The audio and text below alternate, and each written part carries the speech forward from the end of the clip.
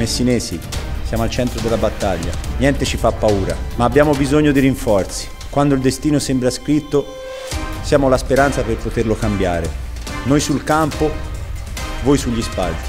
Un giocatore da solo è un numero. Tanti uomini insieme fanno una squadra che non si arrende mai. Io ci sono. E tu?